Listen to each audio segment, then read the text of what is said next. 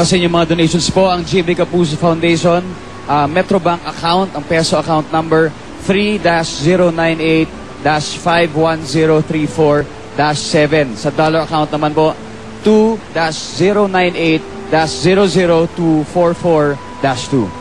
Aha. Pag sinabi natin dingdong na dollar account, ibig sabihin, yung mga kababayan natin sa abroad no, na nais na mag-donate, That's right. yaan ang gagamitin nilang ah, account. No. Pero merong ano eh, may SWIFT code yan eh. Pakibasa mo nga, hindi ko masyadong maliit eh.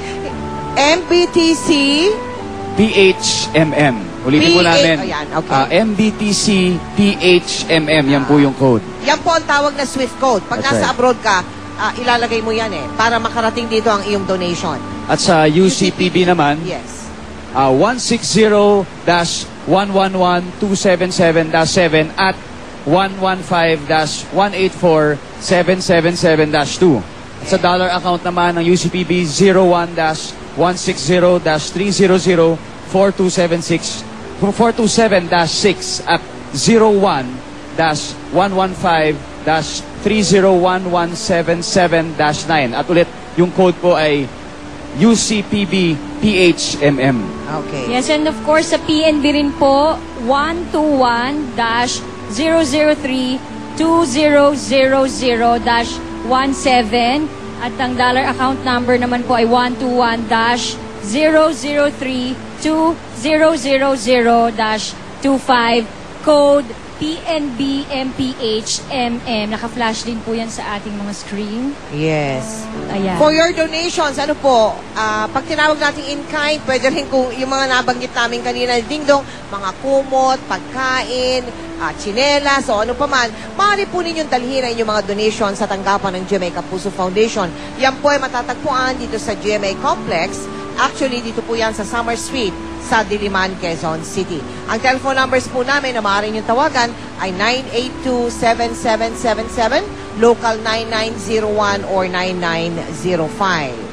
And Yes. speaking of donation po, Tito Mel, GMA Network has donated already 500,000 pesos para sa Ondoy Kapuso uh, Wow. helpline natin Thank you, ngayong thank uh, you very, bilang very panimula. much. Very much. Maraming maraming salamat po. At ito naman po, ah, gusto din natin pasalamatan mga Kapuso Stars na nandito rin ngayon. Yes. Nasa Teleton. Ah, sila LJ Reyes, Mark Heras, Mark Escudero, Paulo Avellino, at si Riza Zenon. Kasama rin sina Chris May, Mocha, Martha Joy, Chris Bernal, at Rochelle Pangilinan. And uh, in fact, meron po a couple of them na nakatanggap Oo na ng nga, tawag balita na ng si donation. Chris, ano? Tsaka Tanungin si natin Raisa kung, yata. uh, ano ba eh, mga meron gusto ng nilang i-donate. pasasalamatan dyan eh. LJ, ano bang sinabi nila? Um, yung iba, nagpapanin na actually. Sabi na, bilisan na lang natin to para marami pang makatawag yan. Tapos may nag- nag-pledge ng 5,000, 5,000, din na. At saka sobrang sabi nila sa akin, pag-pray natin silang lahat kasi naaawas. LJ, you have the names? Um, isa po, na- nandun na po si Ah, naalala ko okay. lang po si Miss, Mrs. Wella Escabante at saka si Miss Zara Chowa ng Caloocan. Okay, thank you very much sa kanila. So yan, tu- tuloy lang po mga tawag nyo dahil ang mga Kapuso Stars po eh nandito para tanggapin ang mga tawag nyo. Aha. Sino yan? Si Sylvia Sanchez? Yung artista? Ah, she's seven months pregnant. At nasa bubong ng house nila sa Riverside Subdivision sa Ortigas. Wow. Sa extension. So, ibig sabihin, nananawagan siya kung pe- pwedeng mapuntahan sila, no? Sa Alright. River po, sa River. Oo, si so Kay kailangan- Brosas din po, nandyan sa bandang um, Philinvest, sa may Oo. Marcos Highway. Aha. Nasa bubong na rin po silang mag-ina. So, Naku. So tayo mananawagan sa NDCC. Ano po? Baka ho pe pwedeng saglitan, lalong-lalo na yung buntis. Opo. Si Sylvia Sanchez. Saan nga rin ang, ano, ang address ni, ni Sylvia? Ortigas, sa Ortigas, Ortigas po. sa Riverside, Riverside. Ortigas. Extension. Aha. At, sa Marikina rin po, mara, alam ko marami rin po nang Marami nandun pa pa rin. rin sa Kainta, Providence marami Village. pa rin. Sana po eh mapuntahan na po sila as soon as uh, pwede po sila. Ako kasama natin yung Kuya Ogie, si Jody, tsaka si Charlie. Ay, nako, Ay, pero, congrats ha. oh, pero ikaw ang dapat i-congratulate Oo, dahil Congratulations. congratulations sa sa'yo. inyo ni Salamat. Bitoy sa Sa ating isang, lahat. sa isang successful screening ng That's right. Yaya and Angelina, The Spoiled Brat Movie. Kapag uh, humupa na lahat, ako sigurado manonood ako dati. Oo. Lahat ng mga nila kong bata. Oo, Salamat treat natin sila. showing pa yan. Oh, of course, of Yes. course. Salamat sa lahat ng mga nanood, mga kapuso po natin, yung mga hindi pa po nakakanood. Ah, tam pagkahupa po ng, ah, ng bahat ng bagyo, manood po kayo. Salamat. Uh, and of course, congratulations sa GMA Films and of course sa APT Films. Kay Yaya, kung nasaan ka man ngayon. Nasa ka ba nagpunta kahapon, Yaya? Alright. Ah, ah, gusto rin nating batiin ang mga bisita po natin na nandito po Yes. ngayon sa studio from Maxi Peel. Ayan po, nandito po Hello. sila sa studio audience. Welcome. Po sila. Happy viewing po sa kanila. Ayan, nandyan po sila. Kaya kung gusto nila mag-donate, eh, tama-tama, nandito na Yes. sila sa Yes. Nandito na. Tama Oo. ka At saka dyan. next week may mga international na naman tayong makakasama.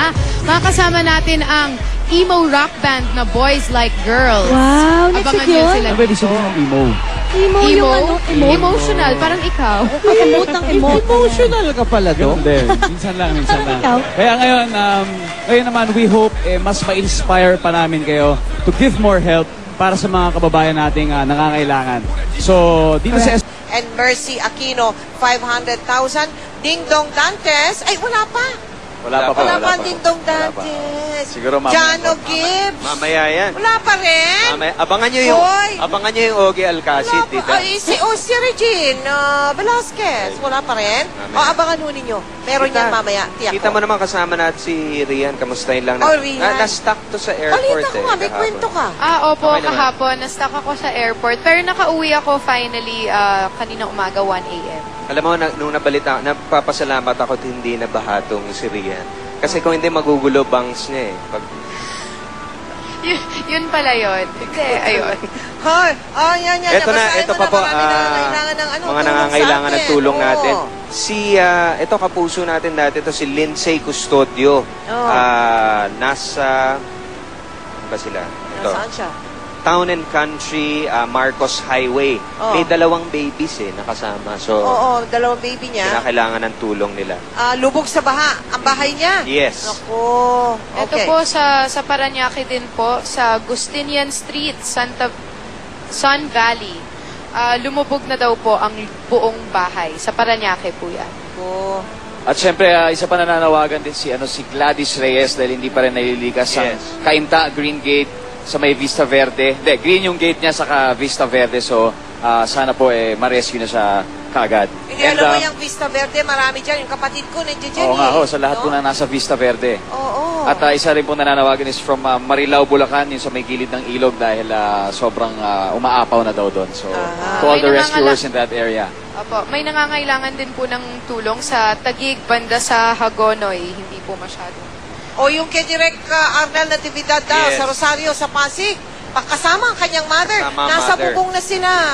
Ngayon, nababanggit po namin ito, no, mga kapuso, no, sapagkat ah, kami umaasa na ito ay napapakinggan ng ating mga authorities na maaaring tumulong kagyat, no, ah, right away, no. Pero ang pinakamainam ho kasi, eh yung tumawag kayo ng direkta sa kanila, no, sapagkat, ah, well, that might ah, baka ma-facilitate ang tulong sa inyo. So we would like to mention some of these. Ang National Disaster Coordinating Council, Ito ang number, Yes. 911-1873, 9125-296, 912-2665.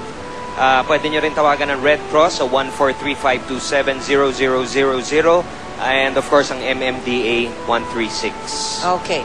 Meron pa yan, Arian. Opo, may nangangailangan din po ng tulong sa, ka, sa Kainta Rizal, ka, Kainta Kainta pa Rizal na naman po. oo. Um, almost 100 people are trapped inside UMS compound sa Felix Ave, Kainta Rizal po. Aha. Kasi, bagaman siguro, no, hindi na tumataas ang tubig dahil hindi na umuulan, ano, marami sa kanila, yung na, yung na, ano tag na stranded, yung nandoon na sa second floor ng mga bahay nila, ang nagiging problema ngayong pagkain Okay. at saka tubig, no? At kung paano makarating yung pagkain doon. Ay, yun, precisely, no, Like walang the boats makakain. lahat ng... ah, Kaya tayo nananawagan, lalo na yung may mga bata, paano yung mga walang makakain doon at walang gatas. Yan ang mga problema ngayon na kinakaharap ng ating mga kababayan.